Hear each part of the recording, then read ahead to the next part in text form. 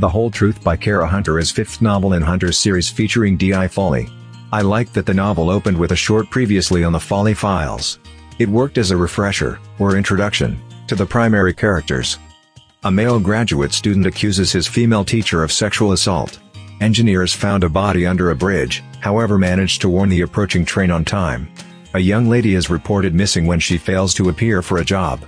Police found her flat empty, with open door, and her wallet, person keys on the coffee table. D.I. Adam Fawley and the team are not just going to be deeply involved for crime, but their own lives are going to collide and explode too. Mysteries that have been building and tantalizingly dangled in us readers in the initial four books. It reached at a critical stage, and things are getting serious and very hairy for Fawley and team. The resentments fester, loyalties are divided, outrage rises to the surface, and there is another rival in the police force. It is someone whom I continually needed to punch in the face. The peacemaker of the team, D.S. Chris Gislingham, is on vacation for the majority of the novel. Once more Cara Hunter's inclusion of texts, podcasts, voicemails, emails, social media posts, notes, diagrams, and news stories added realism and variety to her stories. The sex crime storyline was a fascinating twist on the typical he said and she said situation.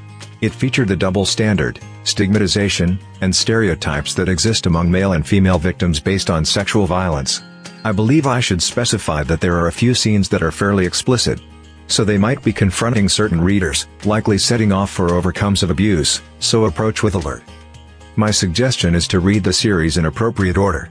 Trust me you will not be disappointed as every one of the five books are 5-star quality. In any case, The Whole Truth by Cara Hunter could be read as an independent. There is a helpful previously, in the Fawley Files guide toward the beginning, and the actual plot works really well of clarifying what's gone on previously. Thanks for listening this book review podcast. If you like this review, don't forget to follow so that you do not miss any of our future podcast. Also show us your love by sharing it with your friends and family.